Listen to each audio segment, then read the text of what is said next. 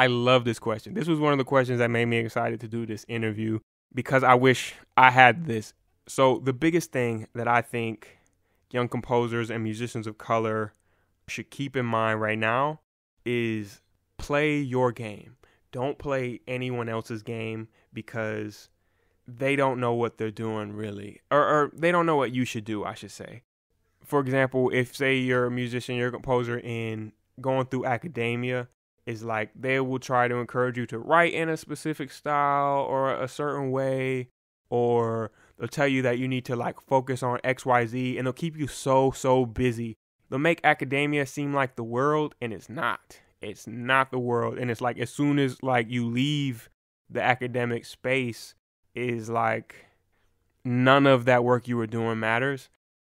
I, I really am thankful for like my OGs for this because they like I don't know, I just it's always been inherent in me and like when I was in undergrad I was still doing I was doing way more like outside of school because I understood this.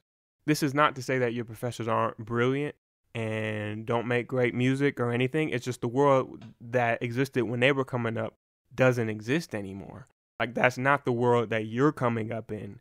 Uh, I love my professors. Like flat out, they changed my life. This is this is not to disparage academia at all. It's just it's an old model and it takes a long time to adjust. So I guess my advice is like don't let them get in your head and do a lot of research on what you would like to do. Write what you would like to write and just produce a lot. However much you're writing, write three times as much because it compounds over time.